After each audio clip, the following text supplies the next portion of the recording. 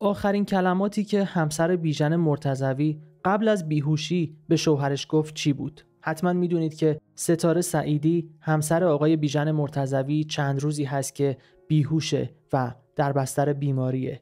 او مبتلا به تومور مغزی هست. چند روز پیش بیژن مرتزوی در مورد بیماری همسرشون یک ویدیو منتشر کردن. همسرشون یک عمل جراحی سخت داشتن. بعد از این عمل جراحی آقای مرتزوی با خوشحالی خبر از موفقیت این عمل دادن و گفتن ستاره همسرم پنج روز دیگه به هوش میاد. اما الان ده روز گذشته و هنوز همسرشون به هوش نیومده. ستاره سعیدی 31 شهریور 1362 در لس آنجلس متولد شد. دانش آموخته مقطع لیسانس در رشته مدیریته که حالا مدیر برنامه همسرش هم هست. او حتی کارهای فیلمبرداری و کارگردانی موزیک ویدیوهای بیژن مرتضوی رو هم بر عهده داشت. علاوه بر این او کنسرت های همسرش رو هم شخصا برنامه ریزی و اجرا می کرد آقای مرتضوی گفتن چند روز پیش ما از یک روز سخت گذر کردیم. ستاره نجات پیدا کرد و قرار بود پنج روز بیهوش باشه تا پزشکان عوارض بعد از عمل رو تشخیص بدن و درمانش کنن. اما الان ده روز گذشته و همسرم به هوش نیومده. نگران من نباشید من خوبم. فقط لطفا برای همسرم ستاره دعا کنید. کنسرت استانبول رو به طور کامل خود ستاره مدیریت کرد و الان خودش نیست. من هم توان اجرا رو ندارم و این کنسرت رو کنسل می‌کنم. ستاره آخرین لحظات قبل از عمل آخرین کلماتی که به من گفت این بود که حتما باید کنسرت نیویورک رو برم و اجرا کنم. به همین خاطر میرم یک روزه در نیویورک و اون کنسرت رو برگزار می‌کنم. کنسرت اتریش هم در روز تولد ستاره هست و از خدا می‌خوام که همسرم اون روز کنارم باشه.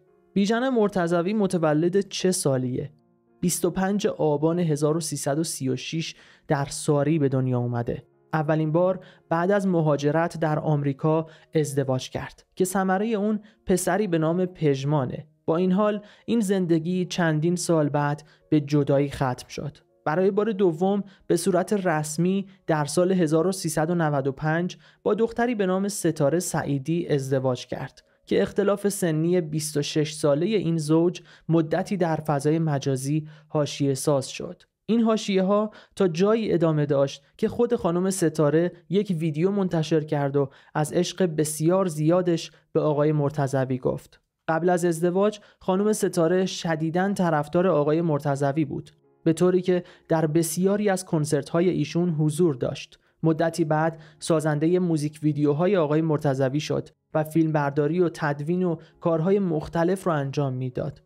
در فیلم اخراجی ها آقای امین حیایی حضور داشتن و اونجا اسمشون بیژن مرتضوی بود. ماجرایی که باعث ناراحتی طرفداران این خواننده قدیمی شده بود. به همین دلیل آقای حیایی در یک مصاحبه از بیژن مرتضوی عذرخواهی کرد و مدتی بعد حضوری ایشون رو ملاقات کرد و عذرخواهی کرد. آقای حیایی در مورد خوش برخورد بودن خانم ستاره سعیدی صحبت کرد. ستاره در مورد عشق شدیدش به بیژن مرتضوی نوشته دختر فرشته خانم و حاج عبدالله اسم پدر و مادرش.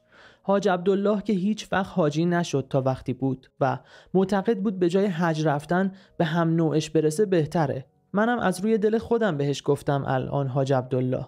اونم برای اولین بار چون نیست که بگه نگو. خلاصه با این جمله شروع کردم. فرشته و عبدالله پدر و مادر عزیزم. می‌دونم از یه جایی نظارگر من هستید و خیالتون حسابی تخت تخته که من در کنار بهترین بهترین هام دوستشون دارم و براش جون میدم. رفیق هر روز و هر ثانیه و هر مکانیم. انقدر عزیز دلم رو دوست دارم که برام همانند خدایی هست که از رگ گردن به من نزدیکتره. بیژن من هم همینطوره. ما در رأس تمام صحنه های عاشقانه دنیاییم. این رو به خوبی می‌دونم و میبالم. یواشکی های لحظه ایمون رو با هیچ حسی عوض نمی کنم که نشانه رفاقت و همرازی من و شماست. عشق قدر من دوستتون دارم. ولنتاین مبارک. متاسفانه خانم ستاره سعیدی پدر و مادرشون رو از دست دادن. هنوز هم در بیمارستان هستن و بیهوشن. اما ماجرای بازگشت آقای مرتضوی به ایران چی بود؟ ایشون فارغ و تحصیل دکترای موسیقی از دانشگاه ساوت همتون انگلستان هستند در 14 سالگی اولین کنسرتشون رو برگزار کردن. یه پسر 34 ساله هم دارن که رابطه خوبی با پدر داره. جالبه بدونید که آقای مرتزوی چند ماه بعد از اینکه به دنیا اومد به همراه خانواده به تهران مهاجرت کردند. یه برادر به نام فرهاد و دو خواهر به نامهای آرزو و آذر دارند.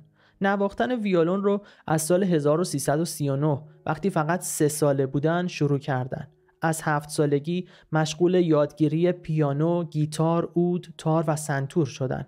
ایشون استعداد عجیبی از خودشون نشون دادن تا اینکه در 11 سالگی مقام اول مسابقات کشوری در ایران رو به دست آوردن.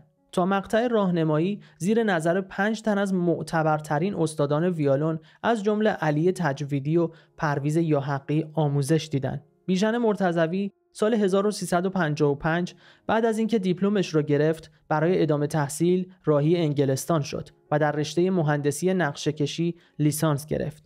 چند سالی هم کارهای ساختمانسازی انجام می‌داد.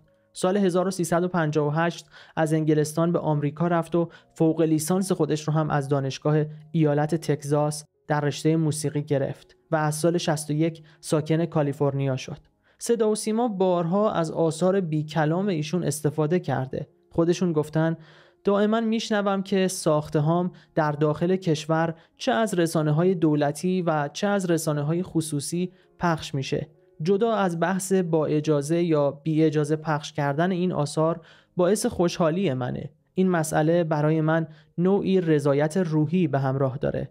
بیژن مرتضوی زمان ریاست جمهوری سید محمد خاتمی به ایران رفت و آمد داشت حتی پس از بازگشت مرحوم حبیب محبیان دوباره به ایران اومد تلاش او اما برای گرفتن مجوز به ثمر نرسید و با رسیدن دولت محمود احمدی نژاد دیگه امکان سفر به ایران پیدا نکرد. او حتی ویلایی در شمال ایران هم داره. در سال 2009 دکترای موزیک خودش رو گرفت و حالا یکی از اساتید دانشگاه ساوت همتون در رشته موسیقیه. او در مصاحبه هاش گفته من در ایام تحصیل برای اینکه پول در بیارم و بتونم تحصیلم رو ادامه بدم حتی به عنوان راننده و گارسون کار کردم آقای مرتضوی برای رسیدن به این جایگاهی که الان دارن خیلی تلاش کردن او بعد از ابتلا به ویروس کرونا در 9 اسفند 99 با درگیری بیشتر ریه ها به بخش مراقبت های ویژه در بیمارستان آمریکا منتقل شد. ولی خوشبختانه حالشون خوب شد. با آرزوی سلامتی برای همسر آقای بیژن مرتضوی یعنی خانم ستاره سعیدی. لطفا شما عزیزان هم یک جمله در وصف بیژن مرتضوی و همسرشون بنویسید. ازتون صمیمانه سپاسگزارم به خاطر لایک این ویدیو. اگه طرفدار آقای ستار خواننده قدیمی کشورمون هم هستید لطفا روی این تصویر کلیک کنید تا اتفاقاتی که برای این هنرمند عزیز رخ داده رو تماشا کنید. مواظب خودتون باشید.